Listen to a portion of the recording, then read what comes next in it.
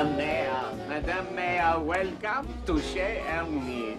Uh, what an honor it is to have you in my humble bistro. Suivez-moi. Oh, you brought the little ones, the little bicycle thieves. Bonjour. Our very best table. Have you lost a little weight? Oh. I think so. I think you may be buff.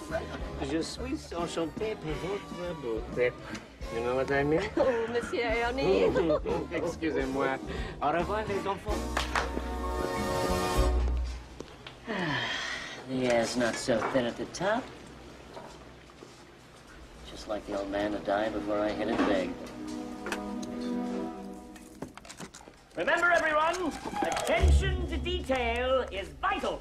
Presentation is everything. No, no, no, no, no, no. These I must deliver myself.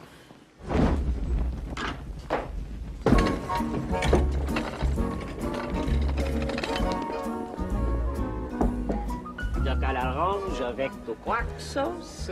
Infusionné, la spécialité de la maison. L'abstellos à la Ernst ou la bibliothèque. Bon appétit. Ah, bonjour. Chef Ernie, how does it feel to be serving the mayor on the eve of his campaign re-election? Well, Leslie, may I call you Leslie? Of course. Ah, well, you know. Crunchy.